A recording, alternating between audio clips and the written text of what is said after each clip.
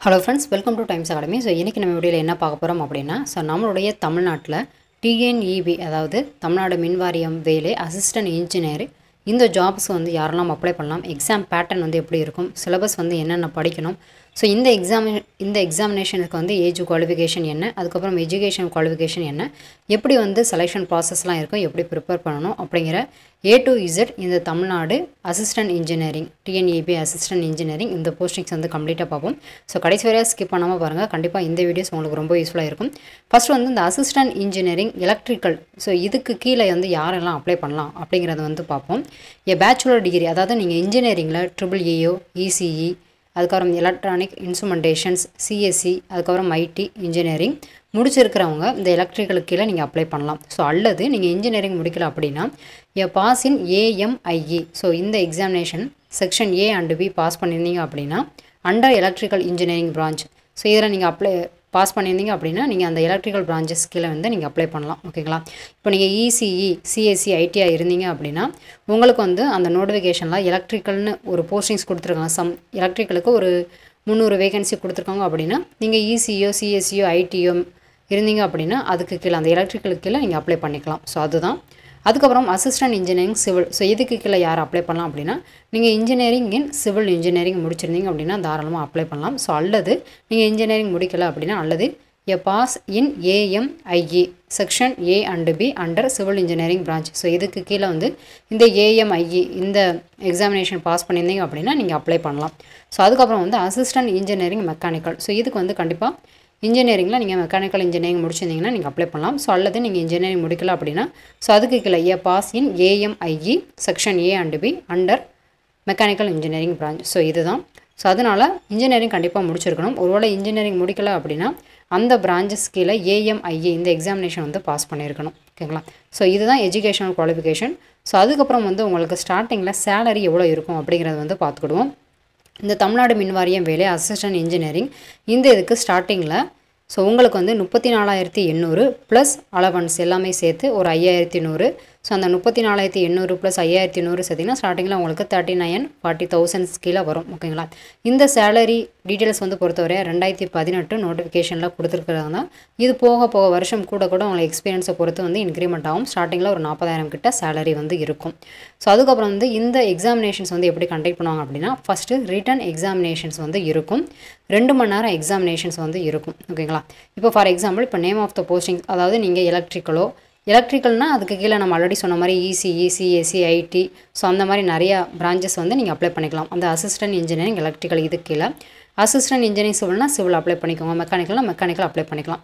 So இப்போ வந்து இதுக்கு வந்து ரெண்டு மணி நேரம் எக்ஸாமினேஷன்ஸ் வந்து இருக்கும். ஸோ எப்படின்னா எத்தனை பார்ட்டாக எக்ஸாமினேஷன் வைப்பாங்க அப்படின்னா part one part two part three மூணு பார்ட் வந்து இருக்கும்.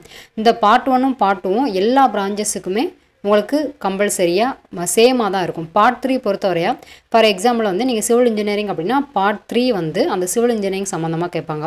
இப்போ மெக்கானிக்கல் இன்ஜினியரிங்னா அந்த பார்ட் த்ரீ வந்து மெக்கானிக்கல் இன்ஜினியரிங் சம்மந்தமாக கேட்பாங்க. ஆனால் பார்ட் ஒன் பார்ட் டூ வந்து சேம் தான். எல்லா பிரான்ச்சஸுமே அது சேமாக தான் இருக்கும். ஸோ அது வந்து என்னென்ன கொஸ்டின்ஸ் வந்து கேட்பாங்க. அதாவது என்னென்ன டாப்பிக்கில் வந்து கேட்பாங்க அப்படிங்கிற கம்ப்ளீட் டீட்டெயில்ஸ் அந்த சிலபஸ் வந்து கம்ப்ளீட்டாக கவர் பண்ணியிருக்கோம் இந்த வீடியோவில் ஸோ அதனால் கடைசி வரையாக பாருங்கள் இப்போ வந்து ஏஜ் வந்து பார்த்துக்கிடுவோம்.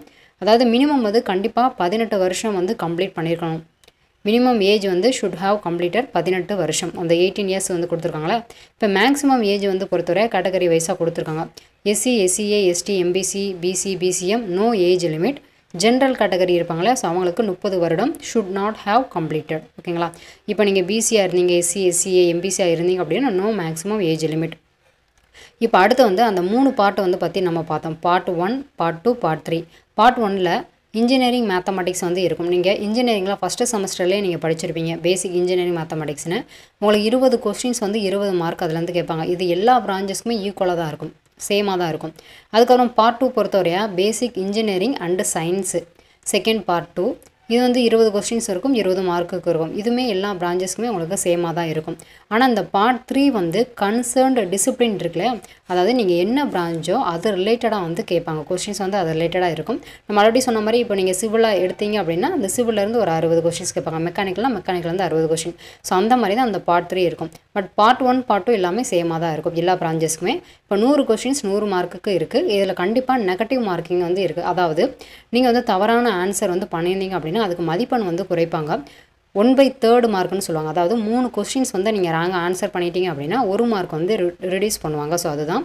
இப்போ வந்து உங்களுக்கு வந்து கொஸ்டின்ஸ் டைப் எப்படி இருக்கும் அப்படின்னா அப்ஜெக்டிவ் டைப் அதாவது ஏபி சிடி நாலு ஆப்ஷன் இருக்கும் நீங்கள் சூஸ் பண்ண போகிறீங்க ஸோ அந்த மாதிரி தான் அந்த ஹண்ட்ரட் கொஸ்டின்ஸுமே இருக்கும். ஆப்ஷன் இருக்கும். நம்ம வந்து செலக்ட் பண்ணணும் சூஸ் பண்ணணும். ஓஎம்ஆர் ஷீட்டில் வந்து கண்டக்ட் பண்ணுவாங்க.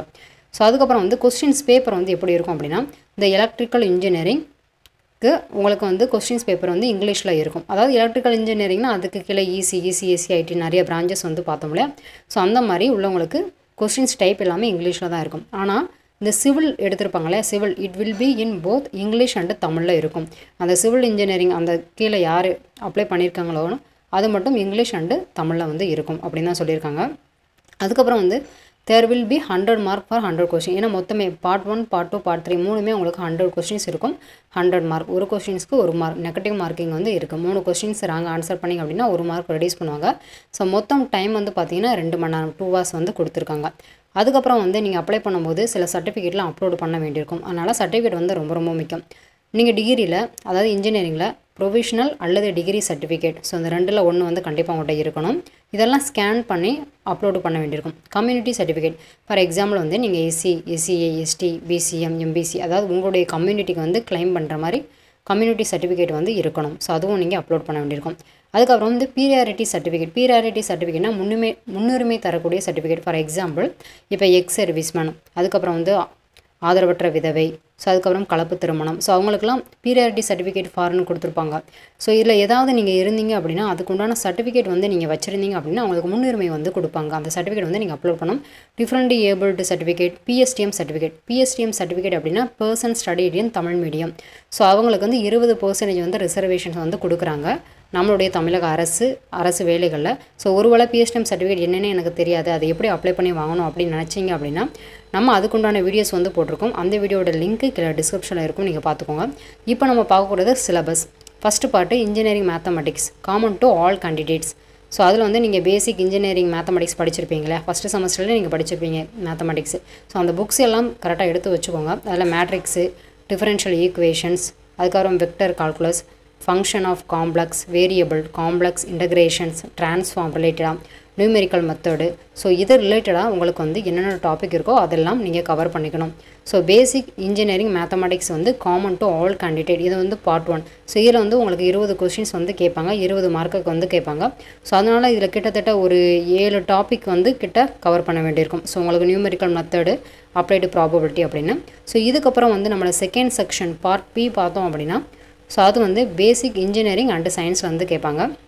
ஸோ அதனால் உங்களோட இன்ஜினியரிங் புக்ஸையும் நீங்கள் எடுத்து வச்சுக்கோங்க. மேத்தமெட்டிக்ஸ்னால் மேத்தமெட்டிக்ஸில் அந்தந்த டாபிக் கவர் பண்ணுற புக்கு வந்து என்ன இருக்குது அப்படிங்கிறத பார்த்து நீங்கள் எடுத்து வச்சுக்கோங்க. பேசிக் இன்ஜினியரிங் அண்ட் சயின்ஸில் mechanical engineering physics material science civil engineering electrical engineering computer பேசிக்காக உள்ள இன்ஜினியரிங் அண்ட் சயின்சஸ் தான் இதில் இருக்கும். ஸோ இதுவும் காமன் டு ஆல் கேண்டிடேட்ஸ் தான். ஓகேங்களா ஸோ அதனால் அது ரிலேட்டடாக இப்போ ஃபிசிக்ஸ் அப்படின்னா சவுண்டில் ultrasonic flaw detector X ray radiography so இது ரிலேட்டடாக வந்து உங்களுக்கு கொஸ்டின்ஸ் வரும். மல்டிபிள் சாய்ஸ் கொஸ்டின் அதாவது அப்ஜெக்டிவ் டைப் ஏபிசிடி நாலு ஆப்ஷன் இருக்கும். நீங்கள் சூஸ் பண்ண போகிறீங்க இப்போ பார்ட் தேர்டு வந்து கன்சர்ன் டிசிப்ளின் சொல்லியிருக்காங்களே அதாவது நீங்கள் சிவில் இன்ஜினியரிங் அப்படின்னா சிவில் இன்ஜினியரிங் வந்து அறுபது கொஸ்டின்ஸ் கேட்பாங்க. ஸோ அது ரிலேட்டடாக நீங்கள் என்னென்ன படிக்கணும் அப்படிங்கிறது. ஸோ அதனால் நீங்கள் இன்ஜினியரிங்கில் எந்த புக்ஸ் வந்து நீங்கள் படிச்சிருக்கீங்க அது ரிலேட்டடாக இந்த டாப்பிக்லாம் இருக்கா அப்படிங்கிறத பார்த்து அது ரிலேட்டடாக நீங்கள் படித்து வச்சுக்கோங்க. மெக்கானிக்கல் இன்ஜினியரிங் ஸோ அது ரிலேட்டடாக என்னென்ன கேட்காங்க. Heat transfer thermodynamics automotive engine அதுக்கப்புறம் எலக்ட்ரிக்கல் அண்ட் எலக்ட்ரானிக் இன்ஜினியரிங்கில் என்னென்ன படிக்கணும்? ட்ரிபிள் இ ஸோ சர்க்கியூட் பற்றியும் அது ரிலேட்டடாக நிறைய கொடுத்துருக்காங்க. Electrical machine power system control system digital electronics so அது ரிலேட்டடாக ஸோ அதுக்கப்புறம் வந்து கம்யூனிகேஷன் இன்ஜினியரிங் அதுக்கப்புறம் நம்ம பார்க்கக்கூடியது வந்து இசிஇ இசியில் என்னென்ன ரிலேட்டட் எலக்ட்ரானிக் சர்க்கியூட் இருக்கும்? இன்டகிரேட்டட் சர்க்கியூட் இருக்கும். ஸோ உங்களுக்கு வந்து signal and system control system எல்லாமே இருக்கும். ஸோ அதனால் ஒவ்வொரு பிரான்ச்சஸ்க்குமே தனித்தனியாக கொடுத்துருக்காங்க. Industrial engineering computer science and engineering information technology உங்களுக்கு நோட்டிஃபிகேஷன்ஸில் வந்து வரும்போது எலக்ட்ரிக்கல் இன்ஜினியரிங் ஒரு முந்நூறு வேகன்சி கொடுத்துருக்காங்க அப்படின்னா அந்த எலக்ட்ரிக்கல் இன்ஜினியரிங் அந்த பிரான்ச்சஸ்க்கில் யார் யாரெல்லாம் அப்ளை பண்ணலாம் அப்படிங்கிற ஃபஸ்ட்டே சொல்லிட்டோம். இப்போ நீங்கள் CSC IT ECE triple E அப்படின்னா அந்த எலக்ட்ரிக்கல் இன்ஜினியரிங் கீழே நீங்கள் அப்ளை பண்ணிக்கலாம். ஸோ மெக்கானிக்கல்னால் அதுக்கு தனியாக வேகன்சி கொடுப்பாங்க. சிவில்னால் அதுக்கு தனியாக வேகன்சி கொடுப்பாங்க. ஸோ அதனால் ஃபஸ்ட்டுலேருந்து நீங்கள் லாஸ்ட் வரை அந்த வீடியோஸ் பார்த்துருந்தீங்க அப்படின்னா கண்டிப்பாக உங்களுக்கு ரொம்பவே யூஸ்ஃபுல்லாக இருக்கும். இந்த சிலபஸோட பிடிஎஃப் லிங்க் வந்து கீழே டிஸ்கிரிப்ஷனில் இருக்கும். அதனால் மறக்காமல் நீங்கள் டவுன்லோட் பண்ணிக்கோங்க. உங்களுடைய இன்ஜினியரிங் படிக்கும்போது நீங்கள் என்ன புக்ஸ் வந்து மேக்ஸுக்கு அதுக்கப்புறம் பேசிக் இன்ஜினியரிங் அண்டு சயின்ஸ்க்கு என்ன புக் யூஸ் பண்ணியிருக்கீங்க அதுக்கப்புறம் உங்களோட கன்சர்ன் டிசிப்ளினுக்கு என்ன புக் வந்து யூஸ் பண்ணியிருக்கீங்க அப்படின்னு பார்த்துக்கோங்க. சிலபஸை வச்சு என்னென்ன டாப்பிக்லாம் கவர் பண்ணோம் அப்படிங்கிறத வந்து பார்த்துக்கோங்க. ஸோ இதுக்கப்புறம் அடுத்த வீடியோவில் வீடியோஸில் வந்து உங்களுக்கு ப்ரீவியஸ் இயர் கொஸ்டின்ஸ் பேப்பராக இருக்கட்டும் சரி ஸ்டடி மெட்டீரியலாக இருக்கட்டும் சரி அனைத்துமே இது சம்மந்தமான வீடியோஸ் வந்து தொடர்ந்து நம்ம சேனலில் அப்லோட் பண்ணுவோம். நீங்கள் இன்னும் நம்ம சேனலை சப்ஸ்கிரைப் பண்ண வந்தால் வீடியோக்கு கீழே உள்ள ரெட் கலர் சப்ஸ்கிரைப் பட்டனை சப்ஸ்கிரைப் பண்ணிக்கோங்க ஃப்ரெண்ட்ஸ் நம்ம சேனலில் போகிற ஒவ்வொரு யூஸ்ஃபுல்லான வீடியோஸும் உங்களுக்கு ரொம்பவே யூஸ்ஃபுல்லாக இருக்கும். உங்கள் ஃப்ரெண்ட்ஸுக்கும் இந்த வீடியோஸ் மூலமாக ஷேர் பண்ணிக்கோங்க. நல்ல விஷயத்தை பகிர்ந்து கொள்ளுங்க friends thank you so much friends all the best thanks for your examinations